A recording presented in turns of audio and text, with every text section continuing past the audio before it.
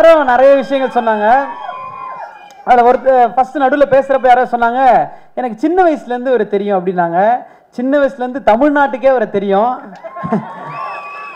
ஏன்னா அதை சொன்ன உடனே தான் எனக்கு தோணுச்சு. ஏன்னா யோசிச்சு பாருங்களேன் ஒரு அஞ்சாறு வயசில் நம்ம என்ன பண்ணியிருந்திருப்போம்? வீட்டுக்கு யாராவது சொந்தக்காரங்க வருவாங்க. ஏய் ரைம் சொல்லி காமி. ஏய் அவங்களுக்கு அந்த பாட்டு பாடி காமி பாடுவாங்க. நம்ம ஸ்க்ரீன் பின்னாடி ஒழிஞ்சுப்போம் இல்லை அம்மா பின்னாடி ஒழிஞ்சுப்போம் இவர் அப்பயே ஒரு முந்நூறு பேருக்கு முன்னாடி நின்று ஒரு மூணு நிமிஷம் டைலாக கட் சொல்லாமல் பேசியிருப்பாரு. யாரா அப்பா? அடேங்க அப்பா அப்படின்ற மாதிரி அப்போ கிளாப்ஸ் வந்தது. அப்புறம் பதினேழு வயசுல நம்ம என்ன பண்ணுவோம்? ஏதாவது பொட்டி கடல் நின்றுப்போம் அப்பா கிட்ட திட்டு வாங்கியிருப்போம். லைசன்ஸ் இல்லாமல் வண்டி ஓட்டிருப்போம். ஏன்டா அப்படி படிக்காம சுத்திரம் கேட்டிருப்பாங்க. ஏன்டா காலி கிரவுண்டில் நிற்கிற நடி வாங்கியிருப்போம். இவர் அப்பயே டேரக்ஷன் பண்ணி அவங்க அப்பா கிட்ட அவார்டு வாங்கியிருக்காரு. என்னடா இது அப்படி சொல்லிட்டு அதுக்கப்புறம் பார்த்தா மியூசிக் டைரக்ஷனா கீபோர்டு வாசிப்பார். பாருங்களேன் பாட்டு அப்படின்ட்டாரு அதுக்கப்புறம் பாட்டு எழுத ஆரம்பிச்சார். அப்போ தான் நிறைய பேர் சொன்னாங்க என்ன சினிமானா விளையாட்டா? சின்ன வயசுலேருந்து எல்லாம் பண்ணிட்டா பாட்டு எழுதிடலாமா? இங்கே யார் யார் எழுதிருக்கா அதுக்கு முன்னாடி பாட்டு உங்களுக்கு தெரியுமா? போய் கேட்டுப்பார் கண்ணதாசன் பாடல்கள் கேட்டிருக்கியா? வாலியுடைய பாடல்கள் கேட்டிருக்கியான்னு அதையும் எழுதிட்டாரு. வாலி போல பாட்டு எழுத எனக்கு தெரியலையே. ஆனால் உன்னை பற்றி பாடாமனால இருக்க முடியலையே. அதை கேட்டு வாலி சரே சொன்னாரா? என்னடா இப்படி எழுதுற? சூப்பராக இருக்குடா அப்படின்னாரு. இதுக்கு மேலே என்ன சொல்லலாம் அப்படின்ற ஃபீல் இருந்தது. ஆ அதுவும் சொல்லலாம். எல்லாம் சொல்லிட்டேங்க? டேரக்டர் எஸ்டிஆர் எல்லாமே சொல்லலாம். அப்படி என்னென்ன இருக்கும் ஆர்ட் ஃபார்மில் எல்லாமே சொல்லிடலாம். நம்ம ஒரு விஷயத்தை ரொம்ப ரொம்ப லவ் பண்ணோம்னா அது எப்பயுமே நம்மளை விட்டு போகாது அப்படின்ற மாதிரி. சின்ன வயசுலேருந்தே இவர் கலையை ரொம்ப ரசிச்சதுனால தான். இவர் நடுவில் quarterly break half yearly break annual லீவே விட்டா கூட சரி. எப்போவுமே வெயிட் பண்ணிக்கிட்டே இருப்போம் நாங்கள் இனிமேல் பிரேக்கே கிடையாது. ஒரே ஒரு பிரேக் படத்துல ஃபர்ஸ்ட் ஹாஃப்க்கு செகண்ட் ஹாஃப்க்கு நடுவில் ஒரு பிரேக்கா மட்டும்தான் இருக்கும். வேற பிரேக்கே கிடையாது. இனிமே அப்படின்றது தெரிஞ்சு போச்சு. இவருக்கு எல்லாமே வருங்க. இவர் எப்பங்க வருவாரு அப்படின்னு கேட்டவங்களுக்குலாம் பதில ஒவ்வொரு மேடையிலையும் ப்ரொடியூசர்ஸும் டிரெக்டர்ஸும் இப்போ சொல்ல ஆரம்பிச்சிட்டாங்க. அவர் வர வேண்டிய நேரத்துக்கு கரெக்டாக வராரு. இனிமே எப்பவுமே கரெக்டாக வருவார் அப்படின்ட்டாங்க. ஸோ ஃபேன்ஸ் வெயிட் பண்ணாங்க அப்படின்லாம் சொன்னாங்க. காத்திருக்கிறதுலாம் இன்பம் அப்படின்ற மாதிரி நாங்கள் எப்போவுமே அவரோட படங்களுக்காகவும் ட்ரெய்லருக்காகவும் பாட்டுக்காகவும் பேச்சுக்காகவும் வெயிட் பண்ணிகிட்டே இருப்போம்.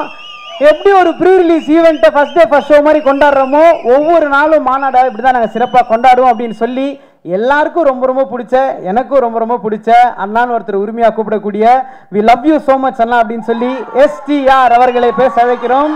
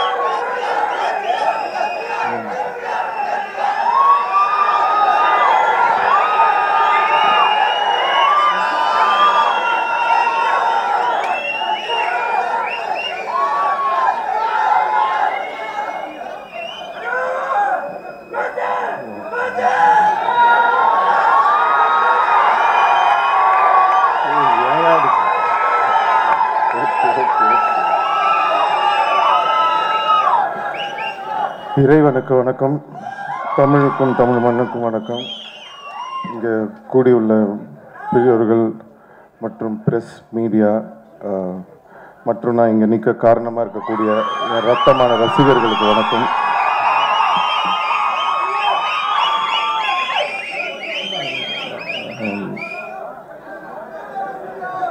சைலண்ட் சைலண்ட் சைலண்ட்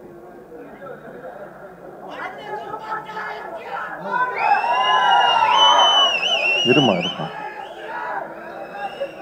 இங்கே எப்படி ஆரம்பிக்கிறதுன்னு எனக்கு தெரியல. ரொம்ப இவ்வளோ நேரம் சிரிச்சிட்டு தான் இருந்தேன். ரொம்ப எமோஷ்னலாக இருக்குது ஃபஸ்ட்டு எல்லாருக்கும் நான் நன்றியை தெரிவிச்சுக்கிறேன். என் ப்ரொடியூசர் சுரேஷ் காமாட்சி. இந்த படத்துக்கு ரொம்ப நான் என்னன்னா பொதுவாக என் படம்னா உங்கள் எல்லாருக்குமே தெரியும். அது வந்து ஒரு நார்மலாகவே ஆயிடுச்சு. ஏதாவது பிரச்சனை அவ்வளோ விஷயங்கள் பண்ணுறாங்க சுற்றி ஸோ அதெல்லாமே வந்து ஒருத்தர் தாக்கு பிடிச்சி தெரியும் தெரியும். தெரியும். ஸோ அந்த மாதிரி இருக்கிற ஒரு சுச்சுவேஷனில் வந்து யாராவது இதெல்லாமே வந்து ஃபேஸ் பண்ணணும். ஸோ அந்த மாதிரியே தான் ஒரு ப்ரொடியூசர் இந்த படத்தை பண்ண முடியுன்றது ஃபஸ்ட்டே தெரிஞ்சிருச்சு. ஸோ அந்த நேரத்தில் தான் நான் வந்து கூப்பிட்டு சுரேஷ் கமிஷனுங்கிட்ட சொன்னேன் நீங்கள் இந்த படம் பண்ணுங்க. ஏன்னா உங்களால் தான் இதை ஹேண்டில் பண்ண முடியும் அப்படின்னு. ரொம்ப நன்றிண்ணே. இன்னைக்கு வரைக்கும் இந்த படத்தை வந்து எவ்வளோ பிரச்சனை எல்லாத்தையும் தாண்டி கொண்டு வந்துட்டார். அண்டு வெங்கட் பிரபு எங்கள் டைரக்டர் எனக்கும் அவருக்கும் அதான் சொன்ன மாதிரி ரொம்ப வருஷமாக அந்த ஃப்ரெண்ட்ஷிப் இருக்குது பட் ரொம்ப நாளாக பேசிகிட்டே இருப்போம். இந்த வாட்டி பண்ணலாம் இந்த வாட்டி பண்ணலாம் அப்படின்னு சொல்லிட்டு என்கிட்ட வந்து கதை சொல்லுவார். ஆனால் வேறு யாரையாவது வச்சு பண்ணிடுவார் ஸோ இந்த மாதிரியே பண்ணிகிட்டு இருந்தார். ஸோ இந்த வாட்டி வரும்போது எனக்கு அந்த ஒரு லைன் மட்டும் தான் சொன்னார். அந்த லைன் எனக்கு ரொம்ப பிடிச்சிருந்தது. ஏன்னா இந்த அப்துல் காலிக் அப்படின்ற அந்த கேரக்டர் ஏன்னா ஒரு ஒரு இனத்து மேலே வந்து எப்படி வந்து ஒரு பழி விழுது அதை வந்து யாராவது கேட்கணும் அப்படின்ற அந்த ஒரு ஒரு கான்செப்ட் அந்த லைன் வந்து நான் கண்டிப்பாக நான் பண்ணுறேன் அப்படின்னு சொல்லி அதுக்கு தான் நான் மெயினாக ஒத்துக்கிட்டேன். அண்டு இந்த கான்செப்ட் வந்து இந்த டைம் லூப் வந்து இது வந்து நீங்கள் படமாக பார்க்கும்போது உங்களுக்கு வந்து ஜாலியாக படம் போயிடும். ஆனால் நடித்த எங்களுக்கு தான் தெரியும் அது எவ்வளோ நாங்கள் கஷ்டப்பட்டிருக்கோன்றது வந்து அது சொன்னால் புரியாது. நீங்கள் படம் பார்த்ததுக்கப்புறம் தான் அது உங்களுக்கு தெரியும். ஆனால் ரொம்ப வெங்கட் பிரபு சார் படத்தில் வந்து எப்பவுமே எல்லாரும் சொல்லுவாங்க அவர் வந்து கதை வந்து அங்கே ஷூட்டிங் ஸ்பாட்டுக்கு வந்தாங்க. இந்த படம் வந்து ரொம்ப கஷ்டப்பட்டு அசிஸ்டன்ட் டைரக்டர்ஸ்லேருந்து பிரவீன் கே கேஎல் சார்லேருந்து ஹோல் டீம் எல்லாருமே கதையை கேட்டுட்டு ரொம்ப கஷ்டப்பட்டு வேலை செஞ்சாங்க இந்த படத்துக்கு. ரொம்ப உழைச்சிருக்காங்க. ஸோ எல்லாருக்கும் என்னுடைய நன்றியை தெரிவிச்சுக்கிறேன். எல்லாரும் டீம் எல்லாருக்கும்.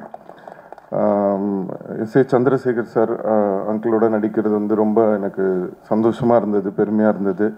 And YG uh, Mahendran sir uh, அவரோட நாடகம்லாம் நான் பார்த்துருக்கேன். ரொம்ப அவர் சின்ன சின்ன விஷயம்லாம் ரொம்ப ஒரு விரல்லாம் நடிச்சிருப்பாருங்க இந்த படத்தில். விரலெல்லாம் நடிக்க வச்சுருக்காரு. என்ன சொல்லுவாங்க? விரல் வித்தலாம் ரொம்ப அழகாக பண்ணியிருக்காரு நீங்கள் இந்த படம் பார்க்கும்போது உங்கள் எல்லாருக்குமே தெரியும். Uh, அப்புறம் உத்தம் சந்த் சாருக்கு என்னோட நன்றியை தெரிவிச்சுக்கிறேன். Thank you sir thank you for standing by S and SJ Surya sir SJ Surya sir வந்து அவர் வந்து இந்த கேரக்டர் வந்து நான் நம்ம எங்கள் எங்கள் எல்லாருக்குமே தெரியும். பட் அந்த இடத்துல வந்து நீங்கள் படம் பார்க்கும்போது உங்களுக்கு தெரியும். இந்த படத்துக்கு அப்புறம் எனக்கு தெரிஞ்சு எஸ்ஜே சூர்யா சாரை வந்து பிடிக்கவே முடியாதுன்னு நினைக்கிறேன். அதாவது எல்லா படத்துலையும் இப்போலாம் ரீசெண்டாக பார்த்தீங்கன்னா வில்லன்ஸுக்கு வந்து அந்த ஸ்கோப் வந்து பயங்கர ஜாஸ்தியாக இருக்கிற படம் வந்து ரொம்ப கம்மியாக இருக்கும். அதுலேயும் இந்த படம் வந்து பயங்கரமான ஸ்கோப் அவருக்கு. அண்ட் மனுஷன் நடித்து பிச்சு உதறிட்டாருங்க. உண்மையிலே சொல்கிறேன் ஹேட்ஸ் ஆஃப் அது போக அந்த ஷார்ட் முடிஞ்சதுக்கப்புறமும் ஐயோ அதில் ஒன்று போயிடுச்சுன்னா கூட விட மாட்டார். எங்களுக்கெல்லாம் ஐயோ டயர்டாக இருக்கே எப்படா இவர் முடிப்பாருன்னு. விட மாட்டாருங்க. அந்த டெடிகேஷனு அதே மாதிரி டப்பிங் டப்பிங்லேயும் வந்து மனுஷன் வந்து பிச்சிட்டாரு.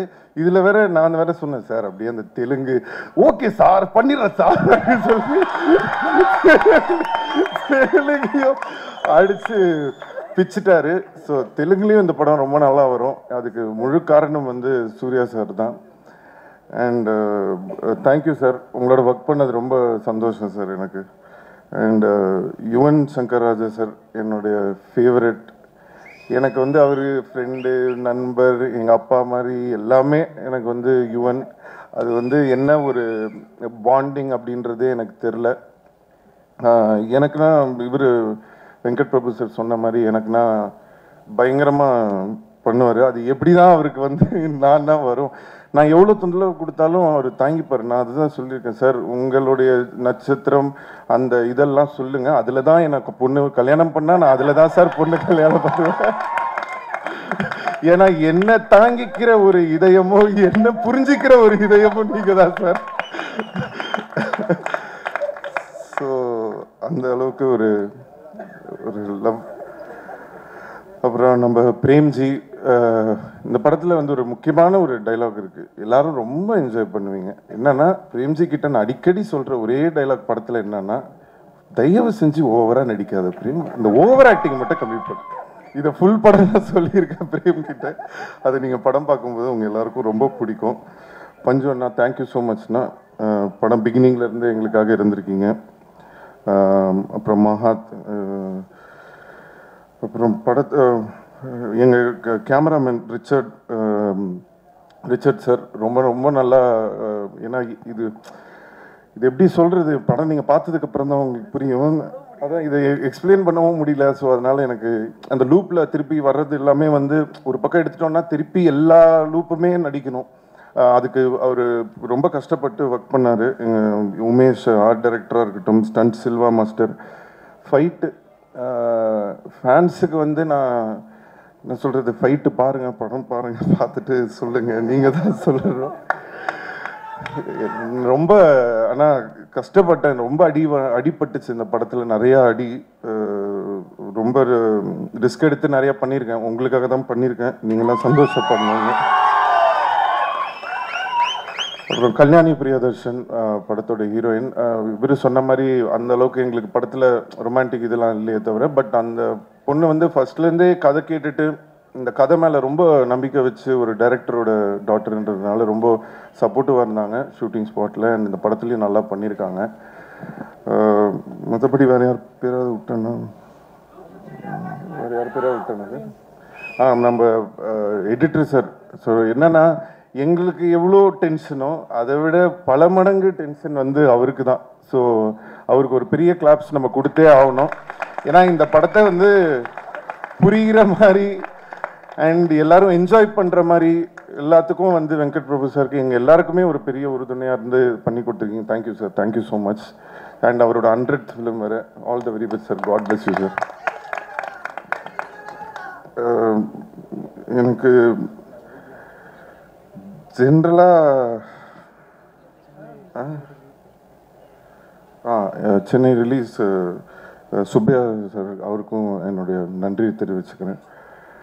தேங்க்யூ சார் தேங்க்யூ பொதுவாக இந்த மாதிரி நிறையா ஆடியோ ஃபங்க்ஷனில் பேசியிருக்கேன். உங்களுக்கே தெரியும். நான் படத்தை பற்றி என்ன பேசுறது?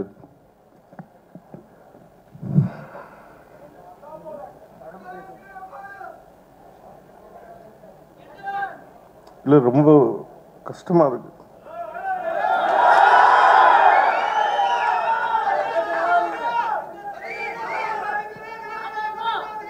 இல்லை ரொம்ப ப்ராப்ளம் ஃபேஸ் பண்ணிட்டேன். இல்லை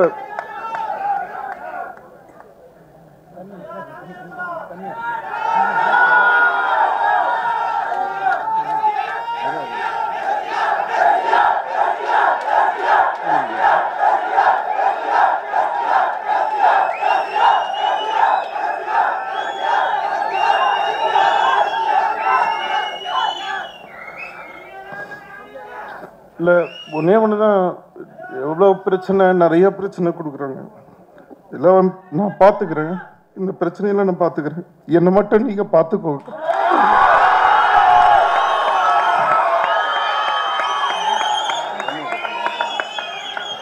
நன்றி நன்றி வணக்கம். தேங்க்யூ